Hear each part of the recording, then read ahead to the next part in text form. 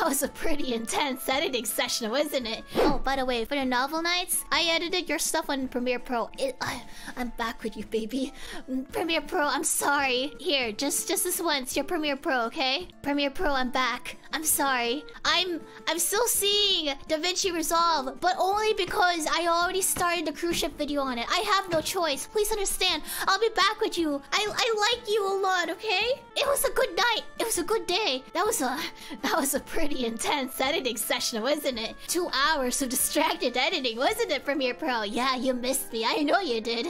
I know you missed the way I did your shortcuts. Now I know my shortcuts are are different. I know my ripple my ripple cut is like Shift S or was it Shift X? I don't know, but you're getting more Shift X from me, Premiere Pro.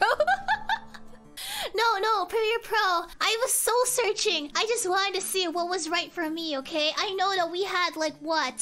Six years to get a Premiere Pro? No, probably like three years, Premiere Pro. You're not my first editing software. Who do you think you are? My first editing software was probably Movavi. Then I think I tried Filmora. yeah, who do you think you are? You think you're my first? No, you're my third. Wait, did I try Sony Vegas? Think I tried it. Didn't like it. Ah, Sony Vegas was so forgetful though. no offense, Sony, you're cool though.